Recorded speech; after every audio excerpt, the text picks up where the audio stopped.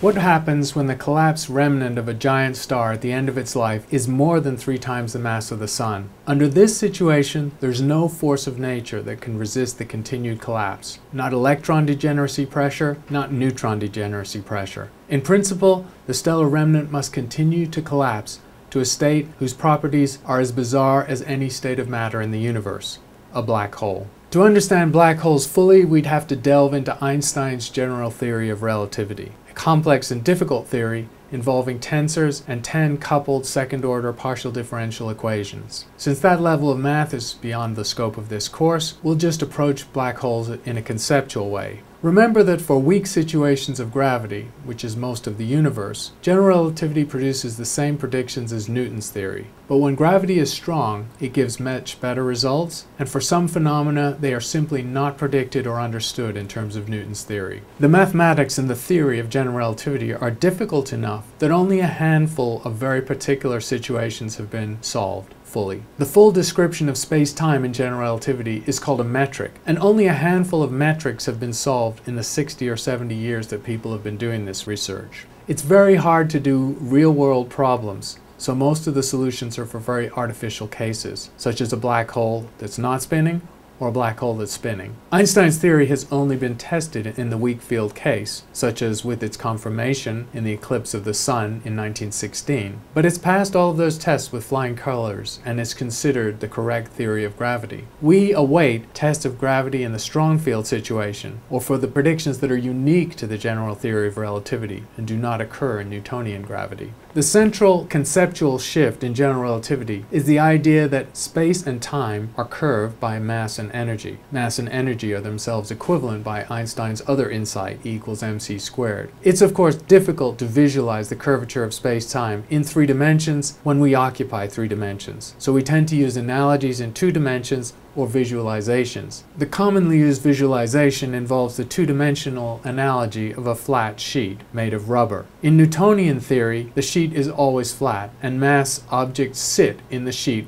without distorting it or changing its properties. In general relativity, any mass, or a combination of mass and energy, distorts the sheet which is the space-time continuum, and objects traveling through that space-time follow paths determined by the curvature of the space-time. We can think of ball bearings or marbles rolled over a rubber sheet that has depressions in it caused by the mass in space. The higher the mass energy density, the higher the curvature of space. This is the central equivalence of Einstein's theory. In principle, there can be sufficient mass energy density to pinch off space entirely, trapping a region of space-time beyond the view of the rest of the space-time and removing it from the visible universe. This, in essence, is a black hole. Another way to think of black holes is by simple extrapolation or extension of Newton's theory. And in fact, John Michell, in 1795, using purely Newtonian theory, made a prediction of black holes and their existence. He just extrapolated from the terrestrial situation, where the escape velocity for any object is 11 kilometers per second.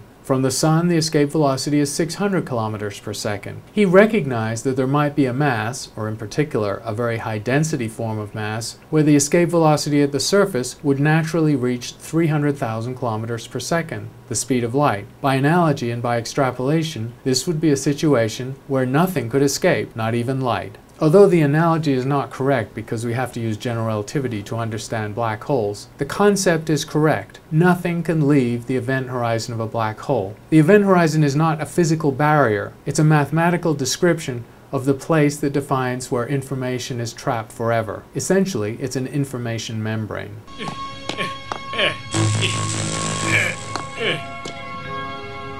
Space-time is almost impossible to contemplate because our entire sensory existence is limited to the three dimensions of everyday experience. Holy macaroni! The easiest way for us to enter Einstein's universe is to imagine space and time to be like a sheet of rubber. If space-time were empty, the sheet would be flat. But massive bodies like the Earth and Sun will bend the sheet and cause it to be curved. This curvature is Einstein's concept of gravity. The more mass a star or planet has, the more steeply it bends space-time around it, and so the more gravity it has. Throw something extremely heavy, like a collapsing star, onto the sheet, and you soon end up with a universe full of holes. Watch it! Yeah! Oops. As the massive star cools and shrinks, it will curve the spacetime around it more and more. Eventually, when it shrinks to a certain critical size, it will quite literally create a black hole in spacetime. Things can fall into a black hole, but nothing can get out. Oh, there's so much I don't know about astrophysics. I wish I read that book by that wheelchair guy. The most terrifying concept in astrophysics lurks at the bottom of a black hole the singularity. Everything that has ever fallen into the hole is destroyed at the singularity, crushed into a pinpoint of infinite density and infinite smallness. Even space and time are squelched out of existence.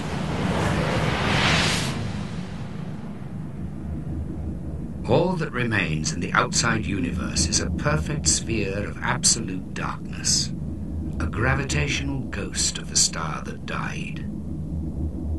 This sphere is called the event horizon, and it marks the edge of the abyss. In the theory of black holes, the calculation produces a problem because the center of a black hole is a singularity, an infinity of mass density that is impossible in the theory. As Stephen Hawking has said, the theory of black holes contains the seeds of its own demise. This suggests that our theory of black holes is not yet complete. General relativity and relativistic astrophysics can be used to model black holes quite accurately. And although a black hole would seem to be a black object, invisible to us, it turns out that black holes are unlikely to be completely isolated in space. Although the matter passing the event horizon becomes invisible from view, its acceleration on the way in leads to huge torrents of energy being released. So we might expect black holes to be visible by this mechanism, as this visualization shows. This, in fact, is the key to how we think black holes have actually been proved in space. At the moment, the likelihood that black holes exist is very high, perhaps 99%. What we look for is a situation of a binary pair, where one of the stars is visible and its properties and evolutionary state can be measured. The binary orbit gives the mass of the unseen companion, and if that mass must be more than three times the mass of the Sun, and the star is in a late phase of its life, then it fits the definition of a black hole. Also, this black hole is unlikely to be dark. In a binary system containing a black hole, mass is being siphoned onto the black hole from the companion. It falls into an equatorial disk because the black hole will be spinning extremely rapidly. This disk of material approaches within 3 to 10 times the event horizon distance and heats up enormously. The inner regions of the disk may be 100 to 200,000 Kelvin,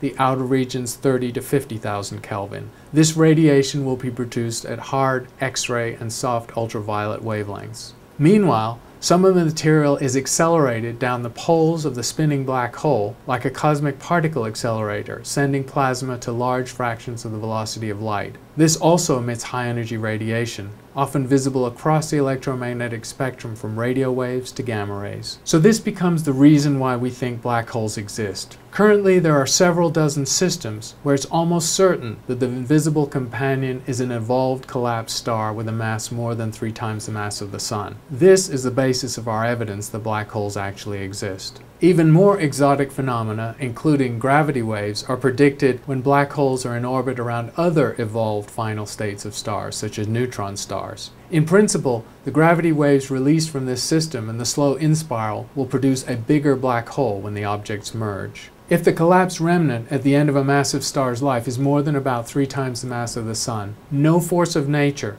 can stop it from collapsing to a state called a black hole. The black hole is bounded by the event horizon, an information membrane marking the distance within which all information is trapped, and nothing, no matter, no radiation, can escape. Do black holes actually exist? We currently have several dozen examples in the nearby universe of binary systems where the invisible companion is almost certainly a black hole. It's expected that throughout the galaxy there may be 10 million black holes and about 30 to 50 million neutron stars.